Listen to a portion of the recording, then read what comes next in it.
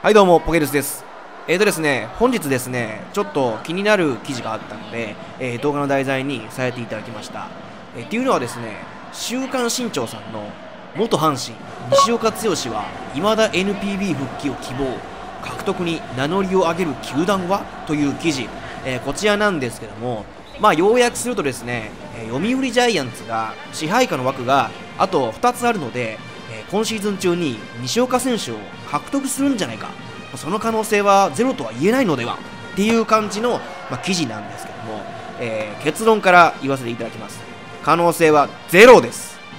いや、これね、あの、ゴシップでもね、なんでもないからね、これ。無理なんですよ。ルール上無理なの。あの、不可能なことを可能性があるのでは？みたいに書いてるけどね。これできないから、まず。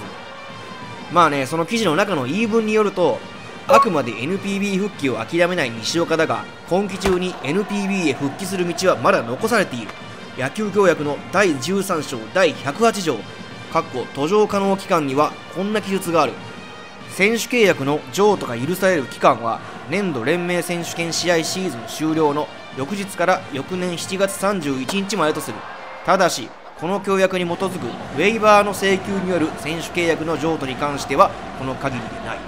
つまり野球協約では NPB 所属選手の移籍期間は7月末で終了したが自由契約のウェイバー選手に関してそれは当てはまらない。過去にはこの条項を適用した例はある。17年8月31日当時日本ハムに所属していたメンドーサが自由契約となり阪神に移籍している。って書いてるんですけどでも何を言ってんのかなと。そもそもねこうウェーバー工事って何なのかちょっとよく分かってない人って結構いるんじゃないかなと思ってるんでちょっとね説明したいと思いますえーまずね、基本的にね、NPB の選手はシーズン中にそのまま自由契約っていうのはできないようになってるんですよ。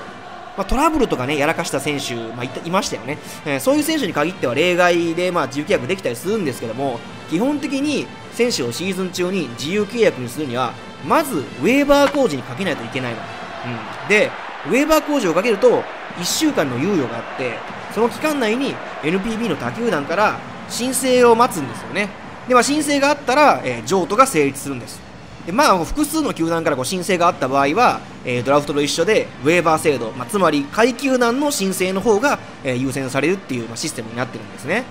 それでもしどこからも申請がなくて1週間が過ぎた場合そこで初めて自由契約になるんですよだからねあの今年西武を退団したカスティーヨなんかはそれなんですよウェーバーを西武かけたけどどこからもオファーがなかったので自由契約になりました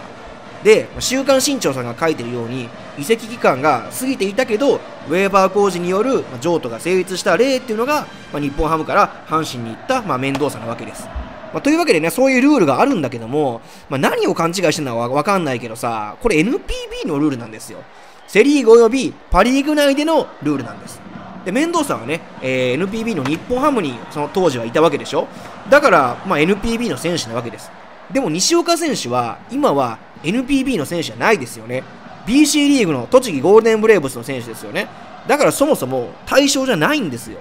というわけでね、もうゴシップもクソもね、不可能なんですよ。できないんです。しかもさ、まこんなことまで書いてて、ただ、シーズンの後半戦に入った状況で、今更西岡を獲得する球団があるだろうか。ある巨人担当記者は、巨人が獲得に動くのではないかという話が一部で出ています、と明かす。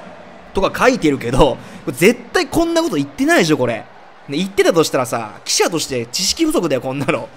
あというわけでね、週刊新潮さん、俺はゴシップ読むのすごい好きなんですよ。半信半疑でさ、えーこんなことあんのかなって読むの好きだもん。でもこれはさ、嘘じゃん。できないこと書いてんだもん。ダメだよ、そんなん。ちゃんと調べても書いてないし、取材もしてないし、絶対。ゴシップなんだったらさ、そういうとこちゃんとしないとさ、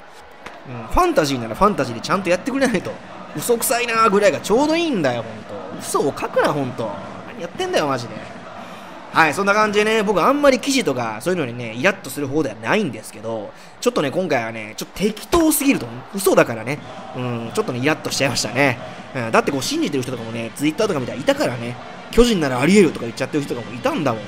戦力どうこうとかじゃなくてね、ダメです、これ、本当に。